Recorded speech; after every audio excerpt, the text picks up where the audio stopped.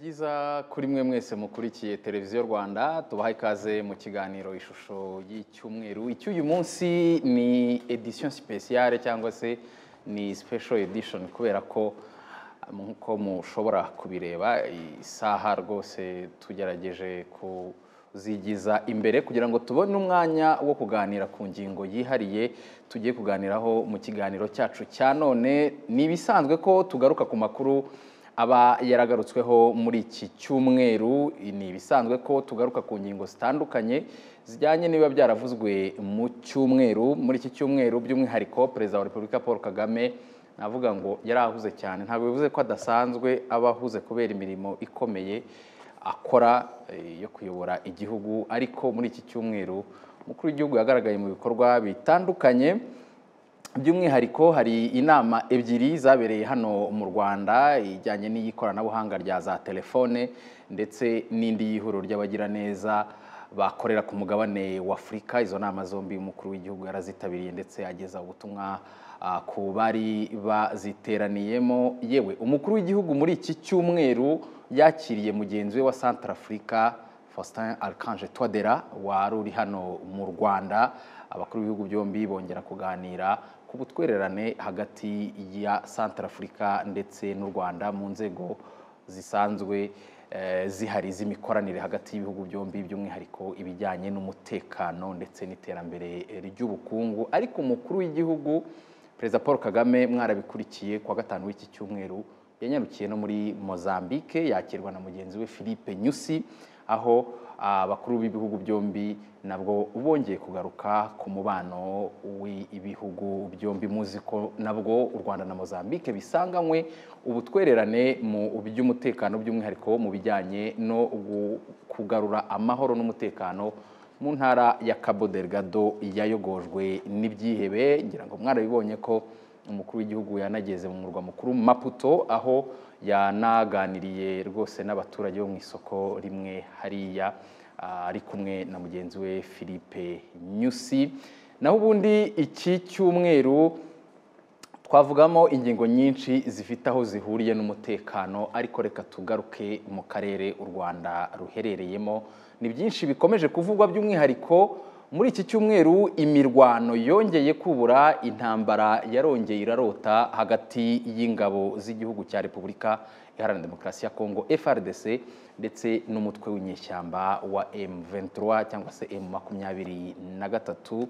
M23 ikomeje kurwana na frdc ku buryo nyuma y'igihe kinini iri ahitwa bunagana ariho bizwi neza ko yafashe ndavuga m23 ubu muri iki cyumweru hongeye kumvikana amakuru y'imirwano ikomeye yatumye iyi emu makumyabiri na gatatu igenda ifata utundi duce ndetse abakurikiranira iby'iyi ntambara hafi bakavuga bati amateka ya bibiri na cumi na kabiri ashobora kwisubiramo. Ni mu myaka icumi ishize emu ventura ikongera gufata umujyi wa goma kubera ko ukurikije amakuru aturuka hariya ibyo avuga ni uko naho kuhagera bishoboka.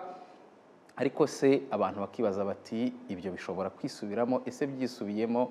Imventuro yakongera kwemera kuhava nyuma y'igitutu cy'amahanga n'umuryango w'abibumbye by'umwihariko. Ni byinshi bikomeje kuvugwa kuri iyi ntambara ariko harimo ibireba u rwanda ngira ngo muri iki cyumweru ibihugu byombi byasohoye amatangazo kuri iki kibazo. Murabizi hashize igihe kinini repubulika iharanira demokarasi ya kongo ishinja u rwanda gushyigikira uwo mutwe wa emu makumyabiri na gatatu ariko u rwanda narwo rugashinja frdc rugashinja leta ya kongo gukorana n'umutwe w'iterabwoba wa fdlr hanyuma icyatunguranye ku munsi w'ejo ni ibyemezo by'icyitwa inama nkuru y'igisirikare n'umutekano muri repubulika ya demokarasi ya kongo yayobowe na perezida antoine felix Tshisekedi. Bimwe mu byemezo byatangajwe ko byayifatiwemo nuko iyo nama yasabye guverinoma ya kongo kwirukana ambasaderi w'u rwanda muri icyo gihugu ambasaderi Vincent karega. Ubu ni we uhagarariye u rwanda muri repubulika iharanira demokarasi ya kongo ndetse twakeneye kumenya icyo u rwanda ruvuga kuri ibi byose maze dutumira umuvugizi wungirije wa guverinoma y'u rwanda bwana alain mukurarinda bwana alain ikaze mu ishusho y'icyumweru. Murakoze cyane. Turi kumwe na ambasaderi Joseph Mutaboba n'inararibonye muri diplomasi yahagarariye u Rwanda mu butumwa butandukanye by'umwihariko mu muryango w'abibumbye ndetse yabaye n'intumwa yihariye y'umukuru w'igihugu muri aka karere k'ibiyaga ambasada Mutaboba ikaze mu ishusho y'icyumweru. Murakoze cyane divine n'abadukurikiye twakiriye kandi Tom Ndahiro ni umushakashatsi by'umwihariko kimwe mu byo u Rwanda rwakomeje kuvuga muri ibi birimo kubera mu burasirazuba bwa Kongo byongeye gukaza umurego n'imvugo z'urwango zifitanye isano n'ingengabitekerezo ya jenoside. By'umwihariko Tom Ndahiro usibye gukurikiranira ibibera muri aka karere hafi n'umushakashatsi uzwi ku bijyanye na jenoside. Tom ikaze mu ishusho y'icyumweru. Murakoze cyane dive. Reka namwe mudukurikiye twongere tubahe ikaze muri iki kiganiro. Ngiye guhera kuri bwana Alain Mukurarinda umuvugizi wungirije wa guverinoma y'u Rwanda. Muri iki cyumweru habaye ibintu byinshi Alain. Ukurikije ibyavuzwe by'intambara yongeye kubura hagati ya FRDC ndetse na M23 abantu bamwe dushobora gutekereza ko ibyo ntacyo byarebagaho u Rwanda ariko twabonye u Rwanda rusohora itangazo konga irasubiza nimugoroba haza ibyo gutekereza kwirukana ambasaderi w'u Rwanda biza byiyongera n'ubundi ku byabaye mu gihe gishize ubwo bunagana yafatwaga na M23 hakazamo n'ibijyanye no guhagarika Rwandeya indege z'u Rwanda za Rwandeya gukorera muri Kongo abantu bakavuga bati iyi myanzuro itangiye guhindura isura ariko bigeze aho gutekereza kwirukana ambasaderi. Ibi byose navuga ngo mpereye ku kibazo nkunda kubaza u Rwanda rwatunguwe na byo cyangwa ni ibintu mwavuga ngo byaje mubireba kuko no mu matangazo yose mwavugaga ko mukomeje gukurikiranira hafi ibibera muri kiriya gihugu.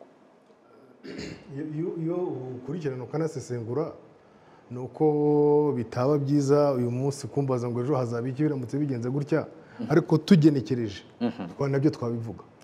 Kuko iyo ugiye ukora icyo bita mu gifaransa bita esikarade undi agakurikira agazizengura. Ashobora guteganya ikizakurikiraho ntanatungurwe reka dufate iki cyaraye kibaye.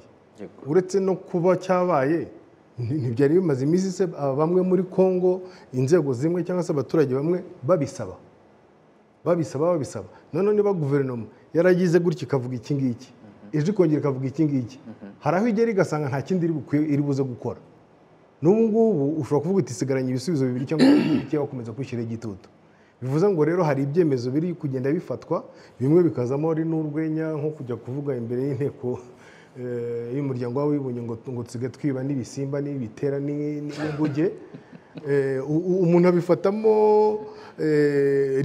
rimwe n'urwenya.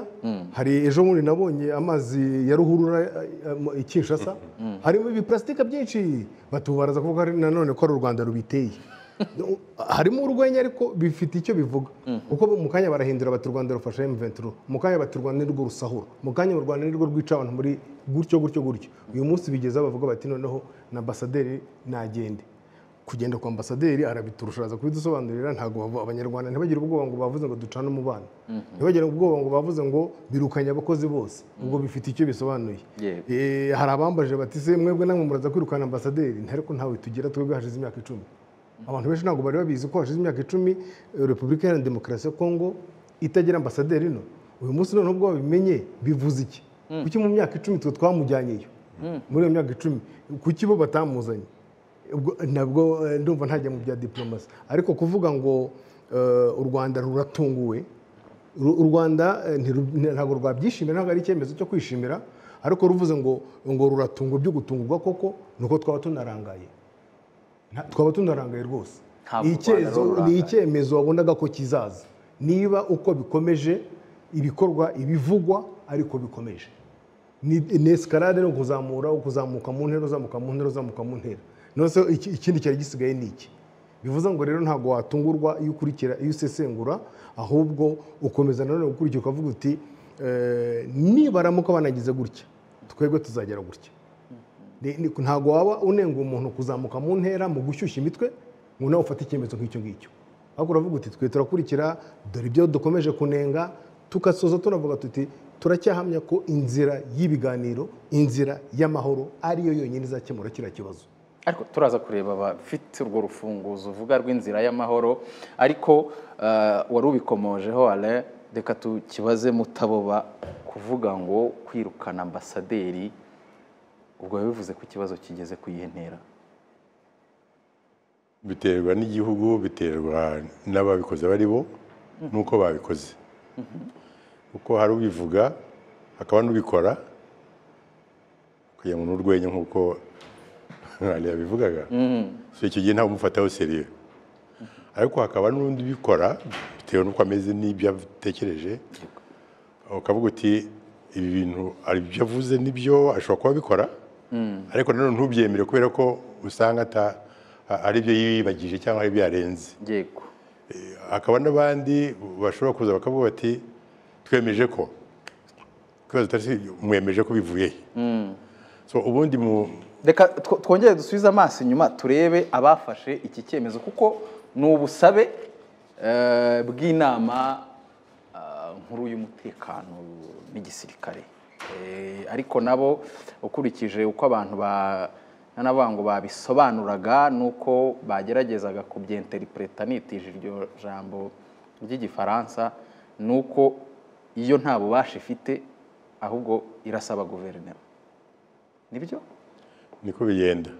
Kuko in- eh, in- inama nkuru y'umutekano nk'iriya iba ifite abantu benshi bayigize ariko kandi iyo ihuye ifata icyemezo ikabwira guverinoma ko kugishyira mu bikorwa. Ibyo bi- bi- birazwi. Ntabwo ari ibyo muri kongo honyine na- n'ahandi bashobora kubikora. Ni inama twabonye n'ubundi iyobowe na Eh, perezida umukuru w'igihugu ubwe. Icyo gihe ushobora no kwiyita ko ari cabinet meeting yabaye bakemeza icyo bagomba gukora bakagikora. Ariko igihe inama yavuze eh, y'umutekano ivuze ngo hari ikintu tugomba gukora byanze bikunze wumva ko bigomba ku- kuba bijyanye n'umutekano nyine. Uti guverinoma nigikora nk'uko bisabwe. Ngira ngo ababona amashusho barabibona ko kuva ku mukuru w'igihugu perezida antoine felix tshisekedi ari muri iyo nama minisitiri w'intebe arimo minisitiri w'ububanyi n'amahanga arimo nyine harimo abagize guverinema navuga ngo benshi umubare munini eh, n'umuvugizi wayo waje gusoma iryo tangazo nyine patrick muyaya. Ikibazo gihari mu mu byo bashaka kumenya mbona muri diplomasi nk'uko yabibazaga ubundi iyo ujya kwirukana ambasaderi uranamuhamagara ukamubwira mukaganira ukamubwira uti waramutse ute wiriwe ute ibyo muri diplomasi niko bigomba kugenda. Niyo waba urakaye ntabwo uhita umutuka ngo ujye ute? Ukamubwira uti waramutse ute wiriwe ute kuko ibyo twumvise ni ibiki akisobanura niba bihari koko. Cyangwa se bakamubwira bati tuguhamagaye tukubwira amakuru wowe utazi. Twamenye ko igihugu cyawe cyakoze ibi. Hari ibyo bavuga biba ari byo hari ibyo bavuga baba bahimbye ariko bamuhamagaye ni ukuvuga ngo icyo agiye kumva icyo agiye kubwirwa ni ikintu kiri ofisiyeri akenshi bikorwa na minisiteri y'ububanyi n'amahanga. Nkurikije ibyo nzi kugeza ubu ngubu ntabwo iyo nama yabaye. Ntabwo minisitiri w'ububanyi n'amahanga ari nawe visi minisitiri premier minisitiri wa wa- wa kiriya gihugu ntabwo yahamagaye karega ngo bimubwire. Kugeza ubu uko mbike uko mbizi. Ariko re- reka tubibaze hano ambasaderi karega yari yahamagazwa? Eh, kugeza Muri iyi minsi? kugeza nanjye ko mbizi ntabwo yahamagawe. Ese nibura hari note verbal yahawe. Ubwo ibyo ari byo byose urafasha abantu kumva uko eh, wenda izo ntambwe ziterwa muri iyo- kugira ngo abantu bumve niba birimo gukorwa koko binyuze no muri izo nzira za diplomasi So, niba minisitiri w'ububanyi n'amahanga atamuhamagaje ngo amu- amuganirize amubwire icyo atekereza. Ashobora no kubwira sekreteri we akamwandikira note verbal. Iyo ni ni ni ni ni ubutumwa ofisiye niko tubwita mu- muri diplomasi iyo wandikira ikindi eh, ambasaderi w'ikindi gihugu cyangwa ikindi gihugu babyita note verbal. Ni mu ndimi zose niko babyita niko bayita. Note verbal. So iyo note verbal ntabwo nkeka ko ari yabaye. Ubwo umuvugizi wa leta nabwo ashobora kumbwira ati yarabaye cyangwa ntayihari. So urumva ko niba batamuhamagaje ntihabe note verbal. Eh? bakabyu-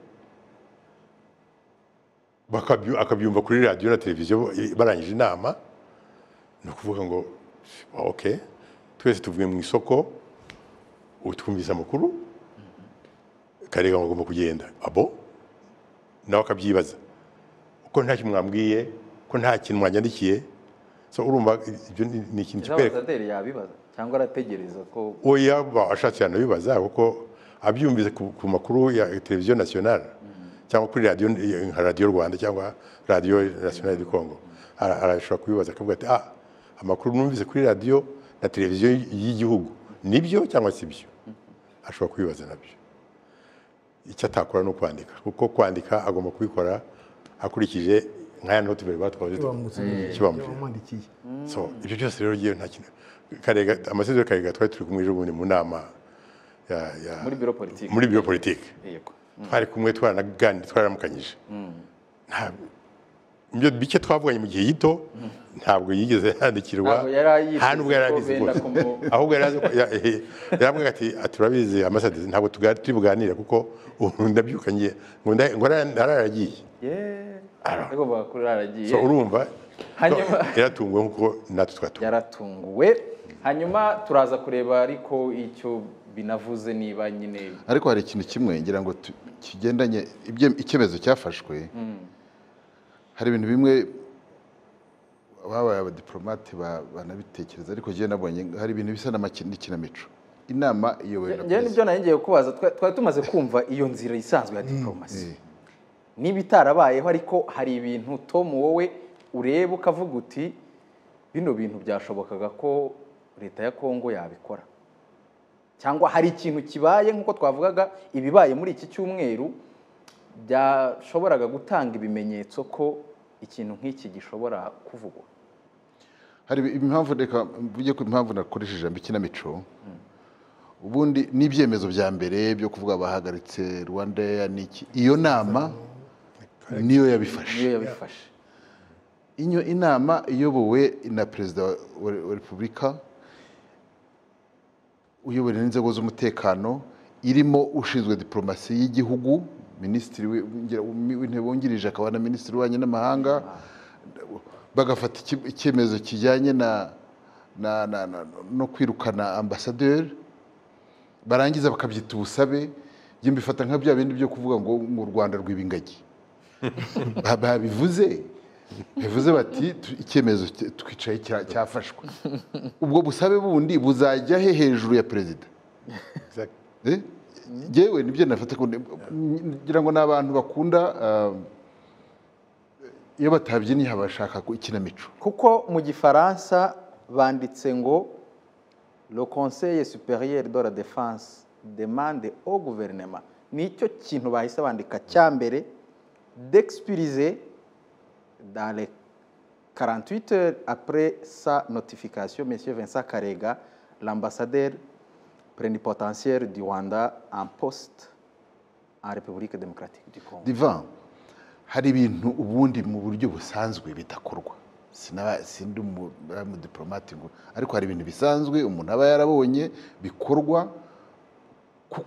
ubundi iyo nama iyobowe n'umukuru umukuru wa diplomasi y'igihugu ni perezida. Chef de la diplomatie Yeah. hanyuma se ubwo busabe buzajya kwa nde? Uri munsi ye. Uri munsi ye. Ah, ari- ari munsi y'andi arimo abwira. Eh? n'undi muntu ngira ngo umuba na minisitiri w'intebe yari muri iyo nama. Ubwo busabe bundi buzajya. Minisitiri hari ibintu rero na njye mbifata Minisitiri nk'aho impamvu Nawe n'ikinamico. amashusho abantu bashobora kubabona rwose mu mashusho hari ikintu cyo kongo ikora bijyanye no ku mfata nko kwishimisha. Hari ibintu iyo babikora ku rwanda babikora nko mu rwego kubibashimisha. Kubivuga. Gute? Ko iyo bavuze u rwanda icya mbere baba bumva ko hari ikintu cy'igiti bakoze akazi gakomeye. Kujya ahantu gushinja u rwanda. Ntabwo waba ufite ubwenge buzima. Ngo ujye ahantu uvuge ngo u rwanda ngo mu byaha tururega ni ukutwibira inguge no kwimina n'ingagi. Ibyo byavugiwe mu muryango w'abibumbye. Imbere y'isi yose. No inteko ngo iki? Ku kanama gashinzwe amahoro ku isi?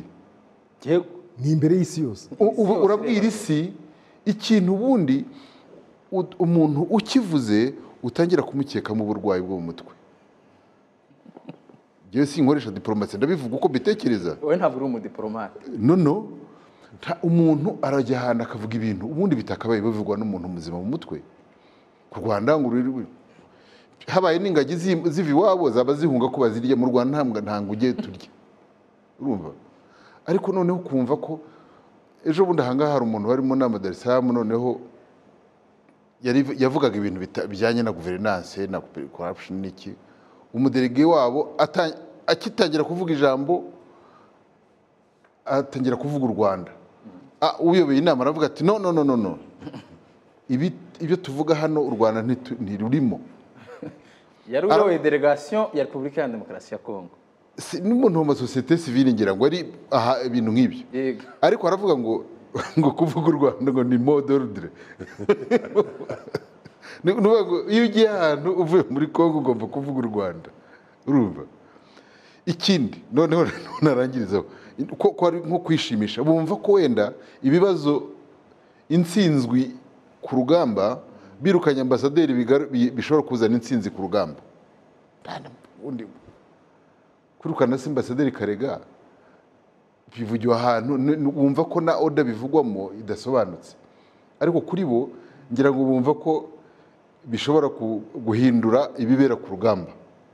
Ariko ibyo ari byo byose icyo cyemezo nticyari cyafatwa na guverinoma kuko bavuga ko ari inama nkuru y'umutekano n'igisirikare yasabye guverinoma kwirukana ambasaderi abashinzwe diporomasi babimenye uko ariko icyo ngiye kubaza yatubwira. nabonye u rwanda rwatangaje ko rwababajwe eh, n'uyu mwanzuro. Ariko nuko wenda mu ijambo ryakoreshejwe tutabona uko turivuga mu kinyarwanda. Yego. Rogrete ntabwo ari ukubabara Yes. turaza kurishaka mpaka turibonye. Eh, ariko kuvuga ngo ni regreton ko icyemezo nka kiriya gifashwe ntabwo uvuga ngo nous sommes tristes cyangwa sommes euh, non. Ushobora no kuvuga ngo ibyakozwe ubundi ntibyari bikwiye si ibyo kuba. kwishimirwa wenda muri iyo sansi ahubwo.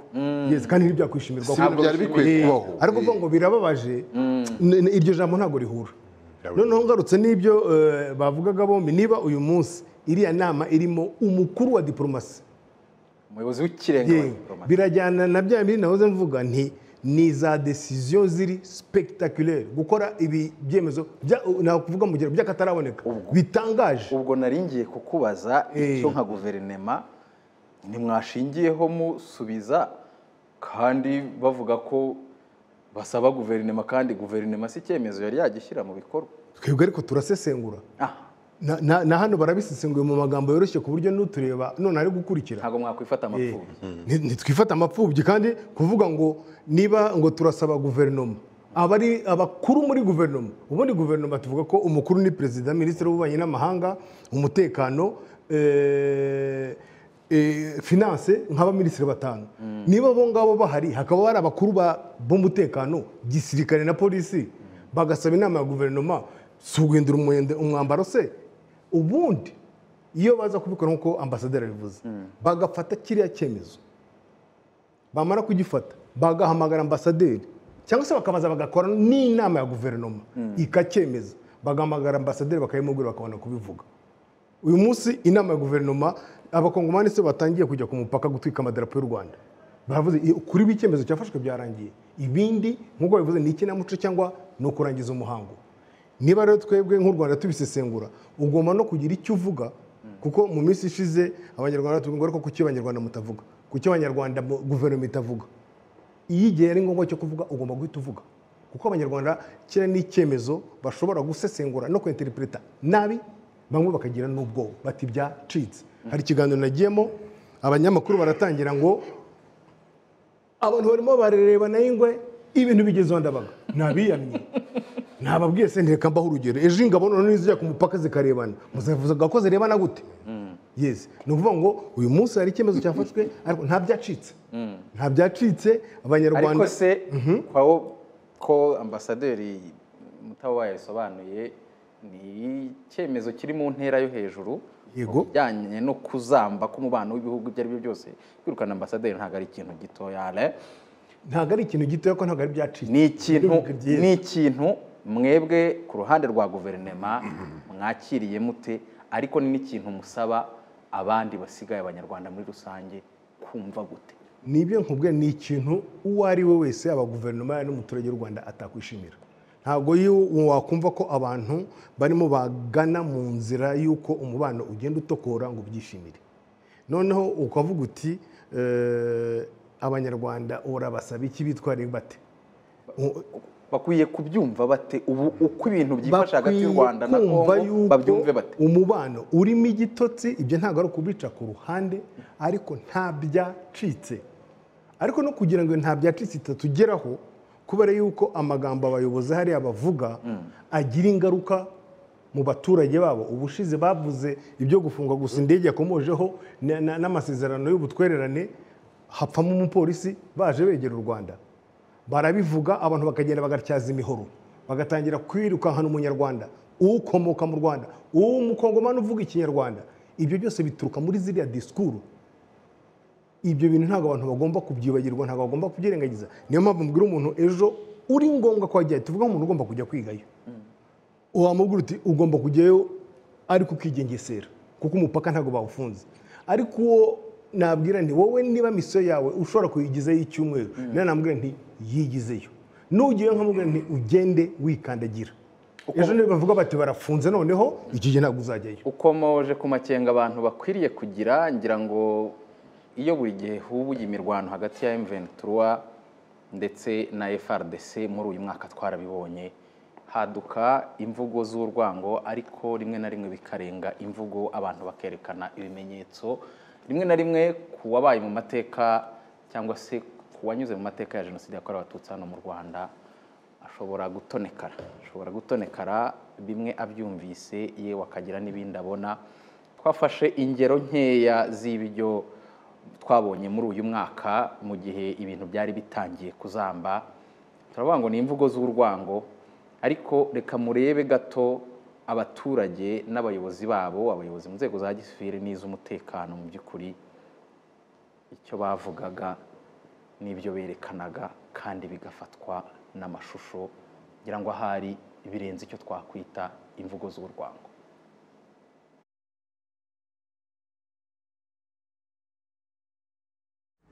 La solution pouvait se trouver dans le cadre de la CPGL.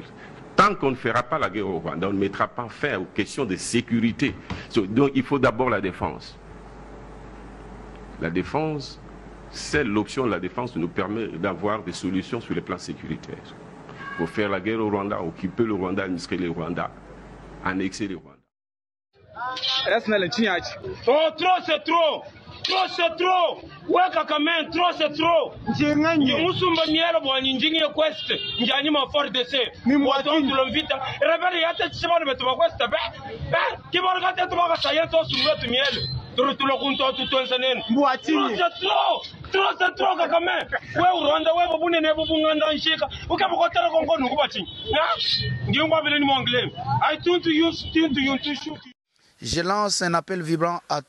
toute la population de Goma de prendre le machette, de prendre le couteau, de chercher de lances et de arcs, de chercher euh, le fusil de chasse afin de résister contre l'ennemi. Pas seulement la population de Goma. Je lance un appel vibrant à toute la population de la République démocratique du Congo et même à Kinshasa.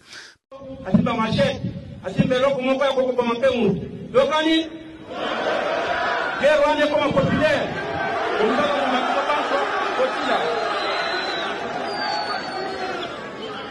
yetusa ndeko ya mobali yetusa mutu nyonso asimba lishet asimba eloko bokokoma moto gere koma populaire. Tokani?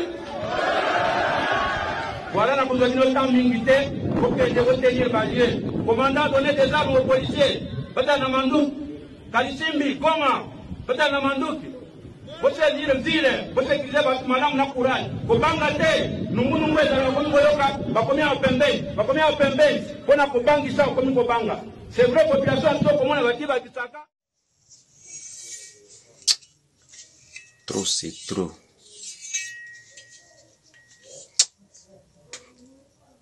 Merci, mon commissaire. Rwanda inakuwa nini? Rwanda inakuwa nini? Mumeketera sasa.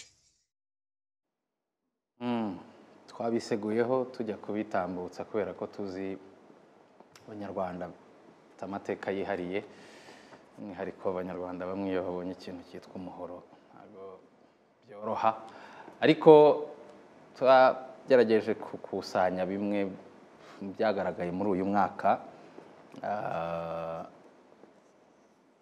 ariko ni ukuri guhari. Ni ukuri kw'ibikorwa kwibera muri congo Ah, ngira ngo mwabonyemo aba- abakurikirana politiki yo muri congo bamwe amasura baranayazi n'amazina barayazi. Bamwe batangiye mu ihuriro ryitwa ramuka n'abakurikiye rero bihereye aho ngaho.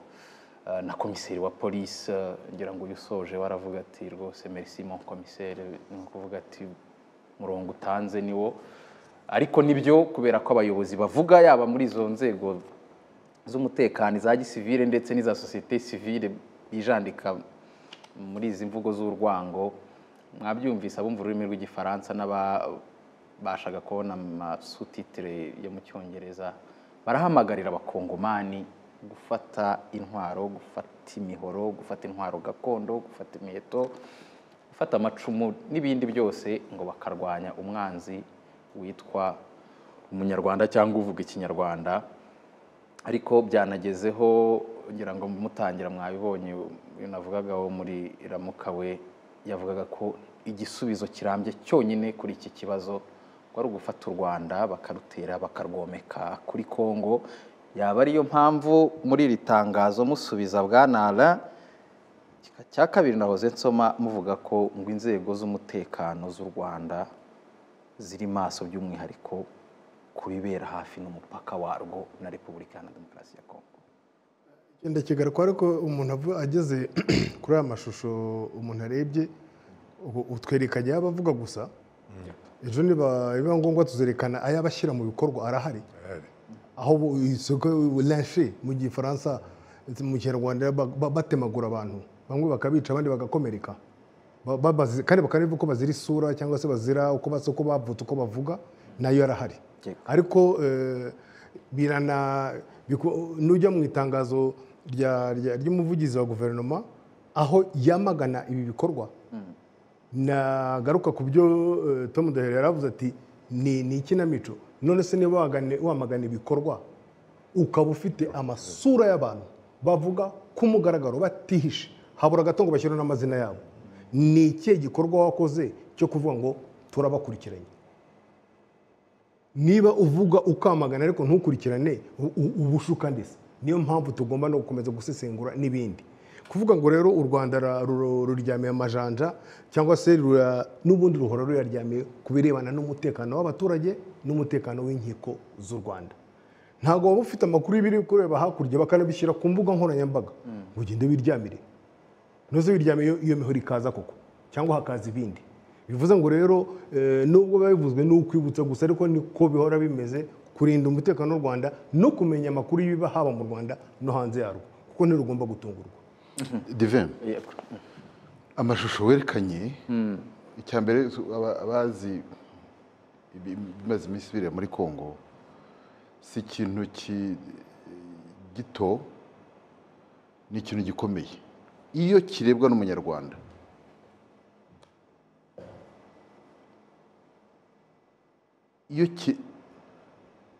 Iyo ubonye umuntu atangira kuvuga kuvuga ngo abantu nibafata imiheto n'imyambi ibi ni ibintu byabaye hano. Ndibuka hari inama yabaye hano i kigali iyobowe na, renzaho tarisisi muri ngira ngo muri makumyabiri n'icyenda z'ukwezi kwa gatatu icyenda na kane. Mu, nyandiko bavuga ngo abantu noneho bitegure abaturage aho abadafite imbunda bafata imyambi n'imiheto. Icyakurikiyeho nyuma y'ibyo ni ibintu bizwi. Muri kongo ibintu ni byo um, ale ya- yavugaga. Hari ibyavuzwe. Ariko ni ibyakurikiyeho. Hari amagambo hari n'ibikorwa. Ibi rero iyo umunyarwanda icya mbere ntabwo- nta- ntabifata nka ntabifata nk'ikinamico nk'uko babifata bo ubwabo. Inama nkuru y'umutekano n'ibishinzwe na byo iyobowe na perezida wa repubulika ntiyamagana. Ifata ibyemezo bihagarika. Kuko inshingano ya leta ntabwo ari ukwamagana. Kwamagana bishobora gukorwa na sosiyete sivile ahantu harimo abapolisi mu bantu bagombye kuba barakurikiranywe ni umupolisi wabwiye bagenzi be ngo bayobora abaturage gufata imipanga. Bakoze iki? Abantu umuntu wagiye aho ngaho akavuga ati ikinshasa kanaka tu- umu- w'umunyarwanda umututsi atuye aha em, uzamubona aha ngaha. N'undi atuye aha n'aha n'undi atuye aha n'aha akabaranga abantu bari. Umuntu akandika itangazo avuga ati umuntu uzica kanaka na kanaka na kanaka azagenerwa amafaranga ya naye abo bantu bose nta n'umuntu urahanwa ikinamico rero navugaga ni ibyo kuvuga ngo inama yayoborwa na perezida wa repubulika irimo abayobozi ba polisi n'abasirikare irimo minisitiri w'intebe banditse itangazo ngo turamagana ababi b'urwango ari bo baboshya. Abandi bantu tugomba kuvuga ni ibyo bintu tu- turimo twerekana aha ngaha ntabwo ari nta muntu ugeze ajya kubifata nibo babyerekanye ubwabo. Ariko muri kongo hari umuryango hari ingabo z'umuryango w'abibumbye bita monusco. Bari aho ngaho bazi neza ko eh, ibi bintu biba mu gihugu gituranye na kongo. Habaye jenoside icyayibanjirije ni ibintu nka biriya. Hanyuma barangiza bagatangira kwivugishwa ngo ngo imventura imventura erega ibi bintu ni ukuvuga ngo amateka ntabwo aberaho kugira ngo abantu biyibutse. Twebwe iyo iyo nsesengura nkora research ntabwo ntabwo njya muri liturujia ngo ndashaka ngo ndashaka icyaha cy'inkomoko. Njye nshaka inkomoko y'icyaha. Eh? Ntabwo ushaka icyaha cy'inkomoko ushaka inkomoko yacyo nshaka inkomoko yacyo ibi bintu byageze bite muri kongo?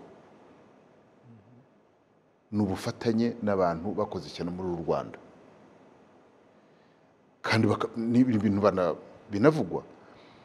Igihe rero umuntu anabibonye agaceceka u rwanda ntabwo cyabaye igihugu ntabwo ari igihugu kitiga ku mateka. U rwanda ntabwo ari ya nyamaswa idakenga yishwe n'umututizi. Ntabwo tuzategereza ko tuzicwa n'amatutizi? Ibyo bintu ba- bazi neza ko hari abantu biba bareba. Abo bantu bazirwanaho. Hari abantu biba- bibasiwe. Hari abantu bireba. Erega iyo bavuga ngo nimufate abantu hari abantu baba bavuga ngo uwo mpangu bateme ibyo byose ntabwo azambuka ahubwo ni byo ibikorwa nk'ibi byaravuzwe mbere bituma umusirikare yumva akwiye kwambuka umupaka akarasa abanyarwanda. Bimuviramo urupfu. Iyo rero bakora amakinamico erega iri tangazo bakoze ejo nijoro bari bavuye mu gitaramo cya fariye pupa kuri stade. Ntabwo nareka kubyita ikinamico ni abantu bashobora kuvanga ibintu biri serieux na na na, na, na concert kuri stade de martire bakumva ko bakavuga bakicarana bati ah reka dushyiremo ko inama yacu isabye izasaba itanze ubusabe. Ni ibintu bidashobora gukorwa n'abantu bari uravuga ngo no no. ibi- ibintu bitari seriye basaze mutabo imirwano imeze nabi yongeye kubura hagati ya M23 na FRDC kandi ni ho bavuga ko bahera ibyo bavuga ah, byo gukomeza nyine guca umubano n'u Rwanda cyangwa se eh, kuganisha aho baganisha ku byemezo bafata. Bavuga ko impamvu ari uko iyi M23 ikomeje intambara kandi ko u Rwanda ruyishyigikiye bityo bati kuba u Rwanda rushyigikiye M23 noneho yarenze bunagana ikaba igiye gufata rucuru ikaba igiye gukomeza u Rwanda turarufatira ibyemezo. Wabyumva yavuga ati ni ibyemezo bafatira u Rwanda mu rwego rwo kuruca intege ngo ntirukomeze gushyigikira M23 igihe mbona tutagwa mu mutego wa w'ikinshasa umutego ngo tugire ngo ni ibintu bibaye ubu ngubu byafatiwe ibyemezo nk'uko babikoze muri iriya nama ya- y'umutekano kongo ubwayo nk'igihugu uko kizwi uyu munsi. Ibikorwa byose bikorerwa i Kinshasa ubuyobozi ni ho buri. Ubutegetsi ni ho buri je veux dire kuko harimo diferanse harimo biratandukanye ubutegetsi buri Kinshasa. Abantu bose bari mu ntara za muri provinsi za za Congo. Cyane cyane uburasirazuba bwa Congo. Nkurikije amateka nzi n'ibyo nabayemo. Nta na rimwe mu mateka ya kiriya gihugu. Ibyabereye aha muri kivu bigeze biba concern yaba i Kinshasa. Iteka ka- bahashize imyaka myinshi. Ntacyo byari bibabwiye hari n'igihe bigeze kujya bavuga ngo eh, ndi- ndibuka nko muri za mirongo itandatu na kane na gatanu hari ibiriya bya kanyarwanda ntabwo turi buze kujyamo mu ngaha. Bavuga ngo atari kuki abantu bo mu rwanda batatu batadufasha ngo baresolve icyo kibazo. Ntabwo ari ikibazo kibareba kuri bo. Bazi ko ibibereye muri kivu bireba aba you know, bireba kayibanda bikareba n'abo bantu bari hafi aho. Dufashe mu ibyo bintu mubikemure so on one side bakavuga ngo birabareba ko bavuga ngo ni abantu banyu. Yaba abanyarwanda bavuga ikinyarwanda batanumva n'iringara you know, nimusubize ibyo bibazo byabo. Ha. So ibyo byabaye kenshi. Imyaka ibaye myinshi. Kuva n'igihe cy'ababirigi amateka dushobora kuzageraho ubundi. Kwerekana ko ari naho byaturutse. Ariko bagaceceka. Bakarenzaho bakavuga ati aha na byo. Kuko n'ababirigi nabo ntabwo bigeze bagisubiza icyo kibazo. Ahubwo bagiye banaceceka cyane kuko buriya politiki yacecekera agatsindwa gasa ni mbi cyane. Kuko kubona baracecetse kugeza iki gihe nta kintu babivugaho kandi rero bafite urufunguzo n'ibisubizo byose. Nabwo nanone ni ikindi kibazo. Si ukuvuga ngo i ibihavugirwa n'ibihakorerwa ntabwo bita cyane cyane ku byabariye. Bavuga ngo ok niba tuvuze ngo bafate intwaro barwane nabo babice bice abanyarwanda cyangwa bavuga ikinyarwanda ntabwo batekereza ko ari ibintu bishobora kuba byabagiraho ingaruka. Bazi ko ari ibintu byahariye. Hahandi batagera badashaka no kugera. Icyo biri mu mateka y'igihugu niko bimeze. Kubihindura hagomba kuba ikindi kintu nka kiriya cya emuveni twavugaga n'ibindi kubera ko ibintu bibiri biracyabura kandi biracyahangayikishije n'isi ireba i Kongo ibihe? Ni imiyoborere itariho ntayo nta miyoborere y'igihugu. Ntayo tuzi kugeza. Hari ariko bafite inzego. Ah, pana inzego harimo n'iyi nama nkuru y'igihugu zirahari. w'igisirikare yafashe ibyo byemezo turimo kuvuga. Ubundi urwego nka ruriya rwagomba urwego rushinzwe umutekano mu gihugu. Ndabivuga mu gase ndabona na Tom abiseka. Ubundi urwego nka ruriya uzi uzi ibya kongo aragomba gusa. Rwagombaga ku- kureba kwibaza ikibazo. Duhereye no kureba amashusho tubonye mu kanya. Ibi bintu turabizi twese tuzi ko byabaye. Twakoze iki cyangwa dukora iki? Ibyo ni- imiyoborere myiza kuvuga ngo twakora iki kugira ngo ibintu bihagarare. Na perezida w'igihugu yaravuze ngo ntabwo nshaka kumva abantu ba- ba- bavuga bavuga amagambo y'urwangano. Uh-uh. ariko nta- ntacyo yigeze akora kuri ya mashusho wabonye watweretse. Icya kabiri kijyanye n'icyo ngicyo bagomba kuba bakora none kitahari ni umutekano. Niba imiyoborere ntayo umutekano ukabura bo aho bari bakajya muri ya stade wahoze uvuga eh, Tom ni Tom wavuze ntabwo yari yewe. Ngo bagiye muri stade de Martyrs kujya hari hari igitaramo Kujya guceza, rero ni igit- ni igitaramo. aho bicaye Kinshasa ntabwo batekereza yuko abaturage bari hahandi twavugaga aho ari hose. Ndavuga urugero rwa rwa, Kivu. No Kivu cyangwa South Kivu. Ariko n'ahandi ni kimwe. So kuri bo isi na Congo ni Kinshasa. And all the Kinshasa forget it ntacyo bibabwiye uzabishobora azabikore oh hari M23 okay ubwo M23 igomba gukora abantu b'u Rwanda babafashije tubivuge dutyo hanyuma twiyame Kagame twiyame u Rwanda ni nko kugira wari wabona nk'umubu cyangwa isazi ukagira gutya ariko ukibwira ko wakuze no. Hari iyo inconscience yuko de Kinshasa hari hari ibibazo ntabwo ntabwo bibareba.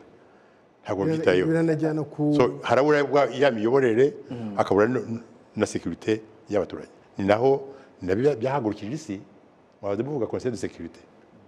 Resolution makumyabiri na gatandatu cumi na kabiri. Y'umwaka ushize mu kwezi kwa kwa cumi na kabiri ku itariki makumyabiri ndacyabyibuka baranurumvira manda ya, ya, ya, ya MONUSCO mwahoze muvuga. Yego. Baravuze bati tugomba kwita ku bintu bibiri byabuze muri Kongo. Imiyoborere myiza ntayo ihari. Ah, ntabwo bavuga ngo myiza. Imiyoborere imiyoborere muri rusange n'umutekano. Ibyo bintu uko ari bibiri. Tu- tu- turaza no kureba muri iki kiganiro niba mu by'ukuri amahanga hari- icyo yakemura kijyanye n'ubuyobozi kibazo. kijyanye n'imi- n'imiyoborere.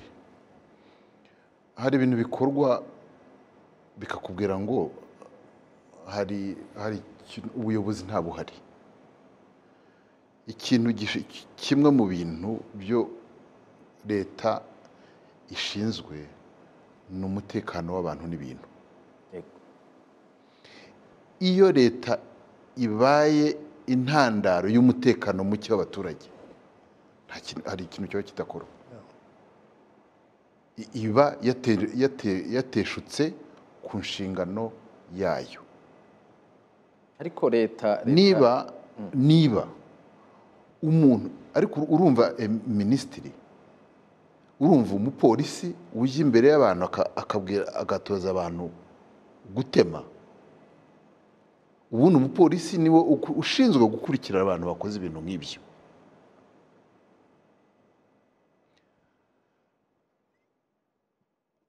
Iyo perezida w'igihugu cyangwa n'undi wese yemerera abantu kuvuga ngo abantu bamwe si abenegihugu. Ariko urumva uburemere bwo kubwira abantu ngo uyu munsi wowe iki gice kimwe cy'abantu cyangwa abantu basa batya ntabwo ari abenegihu- abenegihugu bemewe mu gihugu. Icyo ubwacyo ni intandaro y'umutekano muke. Ni leta ibitera intambara. Ariko ibyo ibyo birabera muri Kongo Kongo ikavuga ko bamwe muri abo bakongomani bahagurutse ndavuga umutwe wa M23 bagamije gushakira nyine umutekano bene wabo bakavuga bati hari ikindi gihugu cyitwa u Rwanda kibafasha. Ariko urumva- niyo mpamvu turimo kuvuga ibi byemezo byose. Hari abo ngabo bariyo bafite kuri ku butegetsi bafite icyaha cy'inkomoko twebwe turimo turashaka inkomoko y'icyaha. Inkomoko y'icyaha kirimo ibi- y'ibibazo birimo bite- tuba muri kongo niyo ni leta ni guverinoma ubwayo. Gute? Niyo yemerera ko inkomoko y'urwango ni leta. Aho kureba ko yateye ikibazo ah, ikaza kubivuga, "Yo, tugomba gushaka umuntu wo tubigerekaho. Ah u rwanda. Ngira ngo uko ariko, a- eh, nyemera gatoto A- A- Alain Eh, u Rwanda impamvu ibi byose birimo kuba nyine impamvu bazana mu Rwanda eh, wenda zimwe zagiye zivugwa n'u Rwanda rukagira ibyo narwo ruvuga.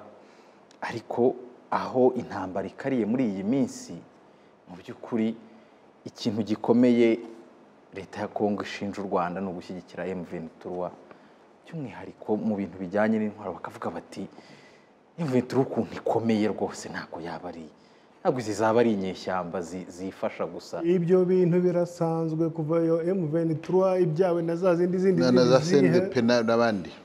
Ikintu gikomeye kiruta kuba barigeze gufata goma ni ikihe? Ariko bavugaga u Rwanda. Uyu munsi. Wavuze ko bavuye mu ntagana nanjye sinahazi ariko reka nkurikire ibyo numvise. We rucuru ngira ngo bibone iyo biri kugana hanyuma wenda goma. Bivuze ngo biramutse bigarutse bikongera bigasubira i goma ni bwo baba bongeye gukora ikintu gikomeye. Nta kintu gishya rero guverinoma ya kongo iri kuvuga. Biravugwa kuva muri bibiri na cumi na kabiri. Reka bariho mpera ikintu gishya nyine ni Eh, uko barimo barayambura uduce Eh, twayo. eh. M23 Noneho iyimereye nabi. ni byo rero ugomba gusesengura. Eh, ukavuga uti ese guhora bavuga iyo babivuze bwa mbere ushobora kuvuga uti reka mpagarire aha ngaha mpagarire M23 u Rwanda rwayifashije. Ariko iyo uvuze kabiri gatatu kane uravuga uti abo bantu bashaka kugana kuki ejo bundi icya mbere cyarigaragaje ku mugaragaro cyanaciye mu itangazamakuru mwese kibanyura mu jisho. Umunyamakuru wese twahuye narabimubwiye ngewe tuzongera guhura mutasomye itangazo ryose kugeza ku kadomo ka nyuma tuzongera tubipfa. Bati twabisomye twabisese ngo hari ibintu hari ibyo mwasize. Baraturatega.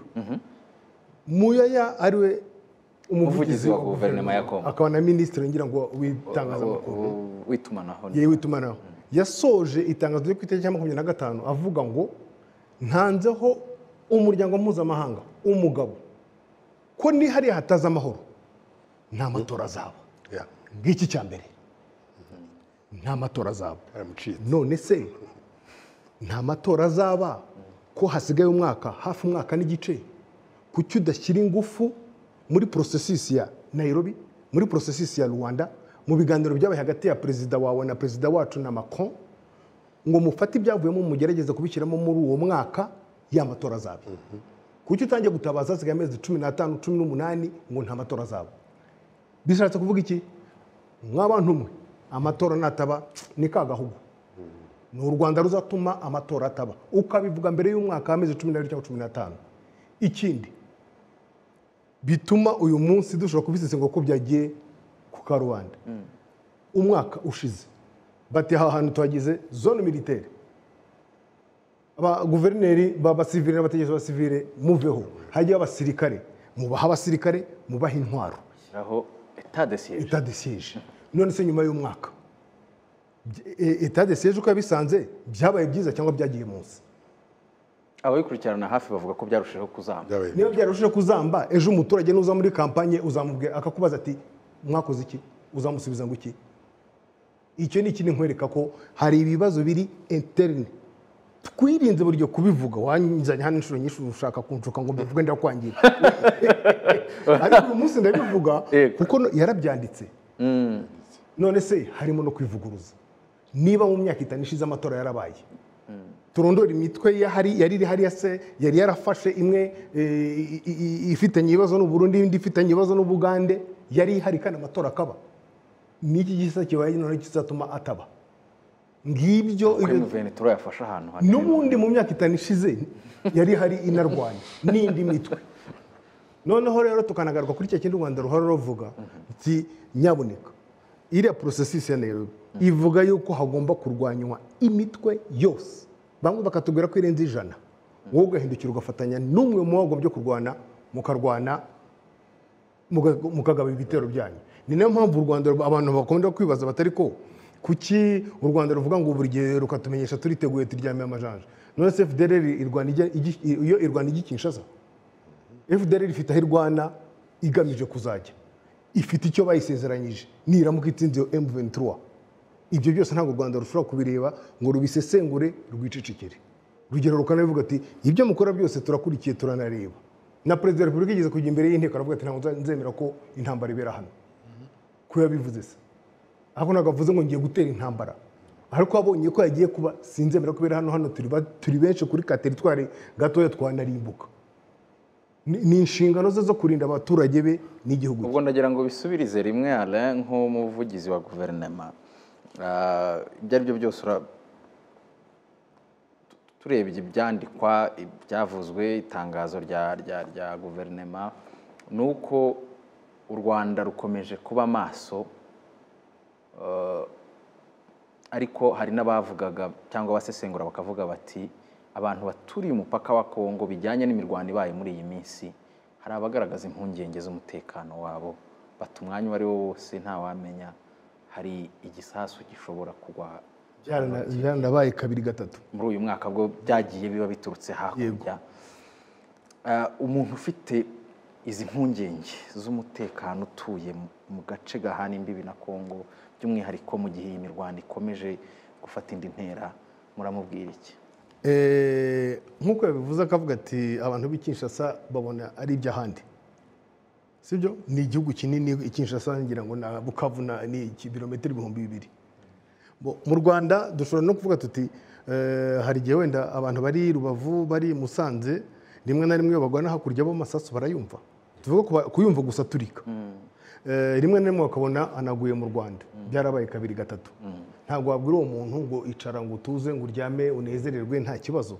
N'abana abana bo ba- ba- banatoromatize eh, bu- bu- bumva amasasu. Urababwira uti rwose nyaboneka mwitonde. Nyaboneka mushishoze kuko ntabwo wajya kubeshya rubanda eh, ngo ubabwire ngo bafashe icyemezo cyo kwirukana ambasaderi wacu uzababwire ngo nta kintu cyabaye. Ushobora kubabwira uti ko atari byacitse ariko wababwira ko hari ikintu cyabaye.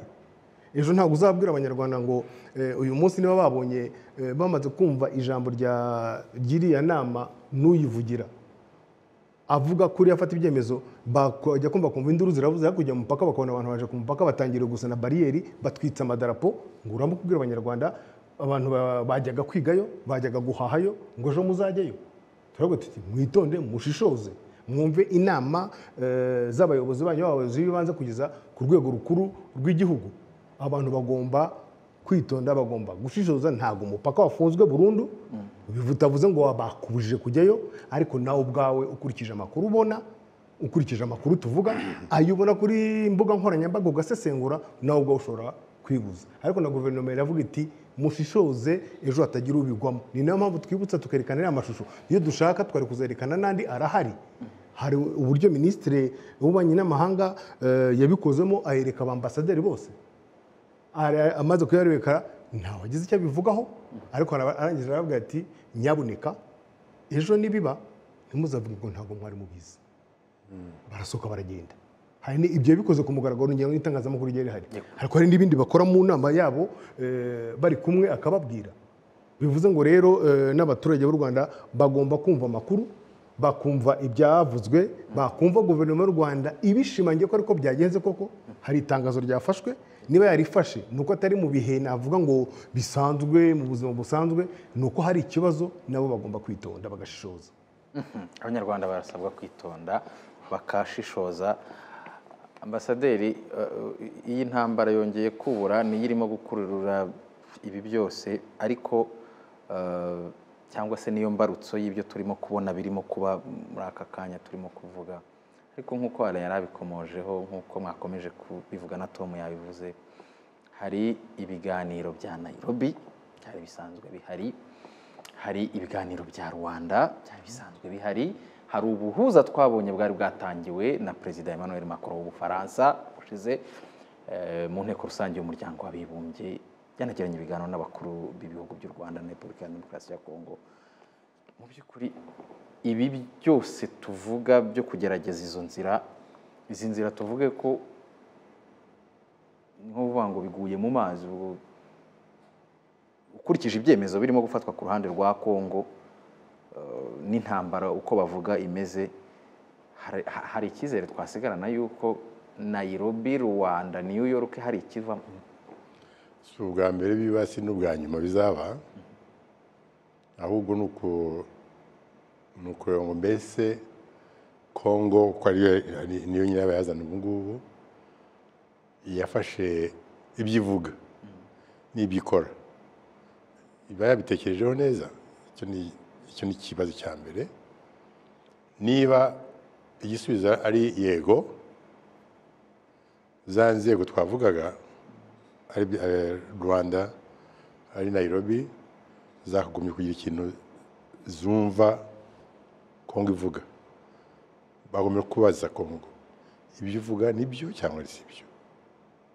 Inzego zifite ijambo se kuri ijambo zifite ijambo kuko ni- ni- ni- ni- nizo nzego zi- zihari zo gukemura ubu ibibazo perezida ruto z'abakuru b'ibihugu. Abakuru b'ibihugu bagomba abakuru b'ibihugu. Kuko bara- baraganira hagati yabo. So nk'ubu uh, umukuru wa- umukuru w'igihugu cya kenya ashobora guhamagara bagenzi be akavuga ati twicare dusesengure ibintu bivugwa muri congo. Tureba no muri framework dukoreramo muri kadire dukoreramo ahamagaye bagenzi be bose abo muri- kenya na- na- navuze muri kenya uwo muri angola uwo muri uganda n'uwo n'uwo muri kongo n'uwaha ukavuga ati muze twicare turi twenyine. Sinagomba ko bose baba bahari.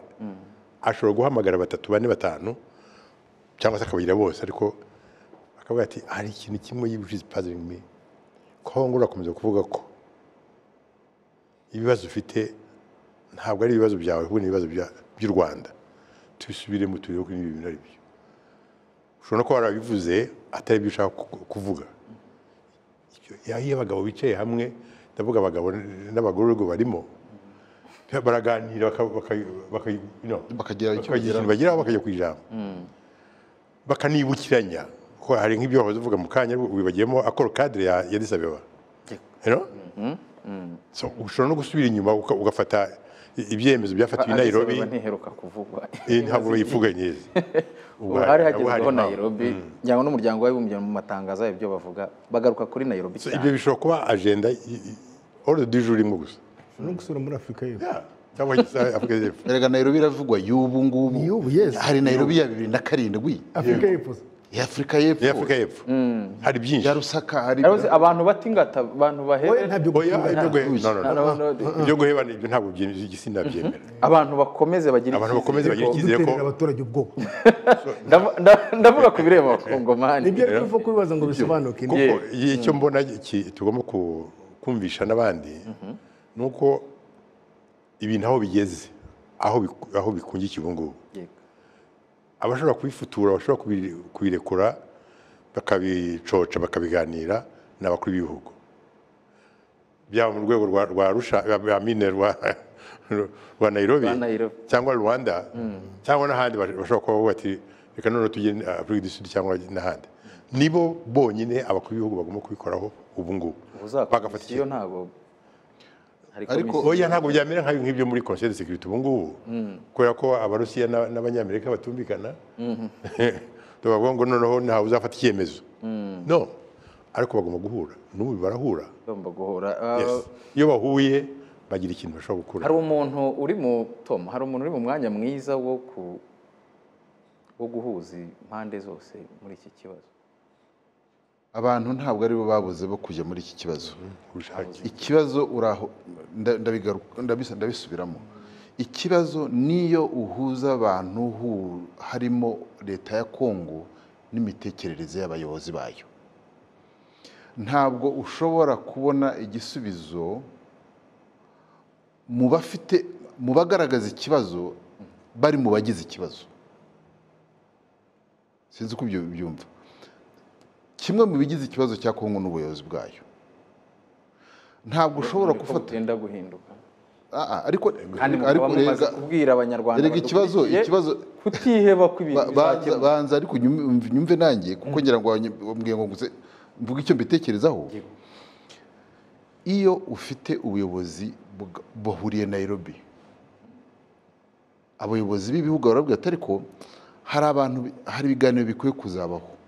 Ukavayo uwo munsi ukaba wihakanya abo bantu ko abo bantu bagomba kukuvira ku butaka.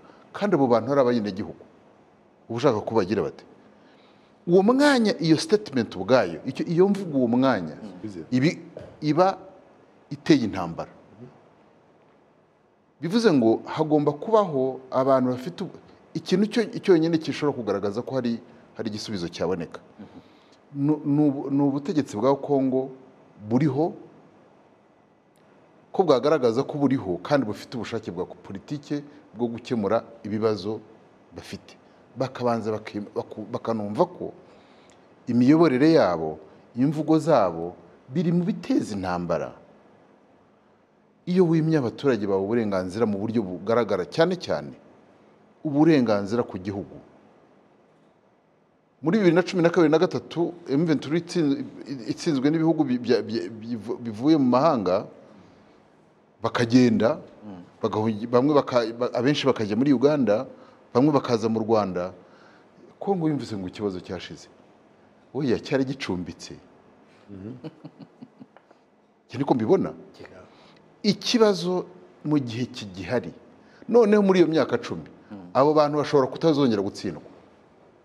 Uzabashyira he? Ugomba kumvikana nabo. None? Paka kinshasa icyo bar- ah, ah, icyo barwanira ni- wari kibabaza wenda? Simbizi ariko icyo nzi ni uko bafite impamvu yo kurwana. Ni na yo mpamvu banatsinda. Buriya abantu barwana nta kozi cyangwa nta mpamvu ifatika ntabwo ba- bashishikara. Ubu umuntu iyo avuye y'i matadi ari umusirikare uvuye i matadi akaza inaha muri goma icya mbere yumva yagiye mu mahanga. Niyo mpamvu na, Tshisekedi yumva ibibazo bye byo muri east. Ashobora kuvuga ati i Burundi na Kenya bazamfasha. Kuko kuva Kinshasa uzi Goma ni kure cyane kurusha kuva Goma ujya Nairobi. Yeah. mu mitekerereze yabo ni uko bimeze. Ariko uravuga ikibazo cy'imiyoborere. yakubwiraga. y'abayobozi ba hariya none ninde wo kuyihindura? Erega hariho igisubizo kirambye. Icya mbere rero ni uko abantu- bikwiye kuvugwa kandi bikavugirwa ku magaragaro kandi bigacyahwa kimwe mu bibazo kongo igira ni abantu biyita ko baje gukemura ibibazo byaho ariko ntibagire icyo babivugaho. Monusco yagombye kuba yarabwiye uyobora monusco akavuga ati kimwe mu bibazo bitera umutekano muke muri kongo nk- nka ya resolution ambasaderi mutabo yibukije ko ibi ngo governance na security. Emera ufate ufate ibyemezo uvuge atari ko source ya insecurity ni ariko You have to change. siko monisco Oya, ibibona siko monisco ibibona kuko yanamaganye mu iki cyumweru. Urimo urambaza icyo nte- jyewe urambaza igitekerezo ibikwiye gukorwa. Uratubwira ko monisco yakabaye itera iyo ntambwe ariko monisco yo nyine icyo irimo gukora ibitandukanye n'ibyo ngibyo uvuga. Ni ukuvuga rero iyo badashatse kubona ikibazo ahubwo ugashaka kucye- kucyerekeza ahandi M23 ntabwo ari iyo ndwara ni symptoms z'uburwayi buri mu gihugu. Ntawe uvura ibimenyetso avura indwara. Bivuze ngo niba- baraje bakaba bari muri position yo gutanga igisubizo bakwiye kuba muri position yo kubwira urwaye batari ko turareba ko niyo mpamvu bashobora kubwira umuntu ngo eh, yego umeze neza ariko turagusaba kureka gufata iri funguro kubera ko iri funguro rigutera uburwayi. N'umuyobozi uwo ari we wese uzashaka gukemura ikibazo cya kongo akwiye kubafasha kubabwira ngo nimureke gute nimureke ikintu icyo ari cyo cyose giteza intambara. Iyo wimye abantu uburenganzira bwabo kongo ifite imitwe hafi ijana na mirongo itatu irenga. Ire- ire- yitwaje intwaro irenga ijana na mirongo itatu. Izwi no mu mazina. Usobanura ute ko uhangayikishije guverinoma ari umwe? Nuko ari bufite imbaraga. Ah, ah. niko bavuga. Niwo mutwe icya mbere. Badafatanya nawo batashinzwe kandi ufite ibyo unenga kandi ufitemo n'abantu bahohoterwa na guverinoma. Mbajije ni jyewe nakubwiye nti sinshaka icyaha cy'inkomoko nshaka inkomoko y'icyaha. Kugira ngo abantu ba- babikurikiye barabyumva. Tugana ku musozo w'ikiganiro cyacu Eh, ara mu itangazo eh, mwasohoye eh, ku ruhande rwa guverinoma y'u rwanda muravuga ko u rwanda rugifite ubushake. Bwo gukomeza rwose gutanga umusanzu warwo mu gukemura ibibazo bijyanye n'amahoro mu karere harimo n'iki ngiki. Noneho zumbaza ambasaderi ngo byacitse. Kandi twanabyanditse icyo mbaza u rwanda rwiteguye gutanga umusanzu warwo mu buhe buryo? Twahoze tuvuga buryo- twavuze rwanda. Rwanda bwose bunyuze mu nzira y'ibiganiro mu nzira y'imishyikirano mu nzira ya deba ya disikisiyo u rwanda rubisabwe ruzatanga umusada. Ntabwo rwakwibwiriza. Rwibwirije bavuga ko rugiye kwivanga. Turafata urugero rutoya ejo bundi ku birebana n'ingabo. Bari bavuze bati mwese murashyiraho ingabo mujye gufasha kurwanya iriya mitwe ijana na mirongo itatu yavugaga. Bati reka reka reka abanyarwanda ntibazinjira hano. U rwanda ntituzinjira hano nta kibazo. Nta cyarubuzaga kugenda rukihagararaho ruti turi muri south africa natwe turajyayo aho baravuze ntitubashaka ko mwinjira kuri teritori yacu nta kibazo. Niba mu- niba mushaka ko turindira ku nkiko zacu tuzabikora. Bivuze ngo rero u rwanda uyu munsi eh, reka dufate dusubire inyuma imyaka icumi. Cyangwa cumi n'itanu ubwo baduperezantaga za master plan. Twese twarazirebaga tugaseka tukabata abantu ba- izi nzu ntabwo bashobora kuzubaka. Tukabaseka. Umuntu agasekera mu gipfuza ati ariko abantu bari telefone ye. Nyuma y'imyaka icumi makumyabiri mirongo itatu ku ijana zimaze kubakwa. Uraturuka ishyorongi ukabona ibintu bira- bira- birazamuye. Warenga undi musozi ugasanga kigali irakoze ira- iragenze irarenze iyi ngiyi iragenda iragana i rwamagana. Kuki twajya mu ntambara. Mufite icyizere rero ko ibintu bizakemuka mu mahoro. Tugomba kukigira kuko nta yandi mahitamo dufite. Andi mahitamo asigaye ni intambara kandi ntayo dushaka. Byumvikanye. Ambasaderi mutaboba ngira ngo turasoza ikiganiro cyawe. Nawe yo icyo cyizere uragifite mu masegonda icumi rwose. Icyizere ndagifite. Burya iyo umuntu arwaye ukamusuzuma neza ukamwereka indwara arwaye na Tom yigeze kubivugaho umuha umuti. Iyo umuhaye umuti ntabwo umunywera ngo akire. Agomba kuwunywa niba unarura ariko akabyemera ko ari umuti akeneye. Ufite icyizere ko abarwayi bazemera kunywa umuti? Niba ata- niba atabikora bazapfa. Nawe icyo cyizere uragifite to yego ni ubushake bwo kuko iyo umuntu iyo afite uburwayi akajya kwa muganga eh, icya mbere yizera ko umu- umuvura amufasha gukira. Inama mugira ushobora gusanga avuga ati rero ahangaha tugomba kuhasatura kuko hari ikintu tugomba kuvanamo. Akabyemera. Iyo atabyemeye ingaruka ntabwo zarebwa ntabwo zabazwa muganga ni ibyo ngibyo. Reka dusoreze kuri icyo cyizere ariko ngira ngo abantu bumvise ko bagomba no gukomeza nyine kugira amakenga cyane cyane abaturiye ahabera iyi mirwano hakurya y'umupaka muri repubulika iharanira demokarasi ya kongo n'intambara ishyamiranyije ingabo z'icyo gihugu FARDC ndetse na M23 naho ubundi uko bikomeza kugenda bihindagurika n'impinduka zizamo. Twe turahari nk'itangazamakuru turahari nka RBA tuzakomeza kubakurikiranira no kubamenyesha uko ibintu byifashe. Reka nshimire cyane Alain Mukurarinda ni umuvugizi wungirije wa guverinoma y'u Rwanda. Mwakoze kwitabira ikiganiro cyacu mwakoze kudokanya ko gusobanura. Dushimiye kandi ambasaderi Joseph Mutaboba ku musanzu udahwema kudutera mu ishusho y'icyumweru. Murakoze n'abadukurikiye nabo. Nshimire cyane kandi Tom Ndahiro ku musanzu wawe muri iki kiganiro. Murakoze cyane. reka dushimire namwe mwese twari turi kumwe n'ikipe ngari yose ya televiziyo rwanda. Twabanye kugira ngo iki kiganiro kibagereho. Ngewe nitwa divine wayo ibihe byiza mwese aho muri.